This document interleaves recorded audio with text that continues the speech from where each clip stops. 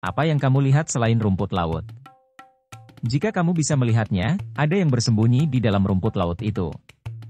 Itu adalah ikan sargasum. Ikan sargasum atau Histrio histrio adalah ikan kodok pada famili Antennariidae dan genus Histrio.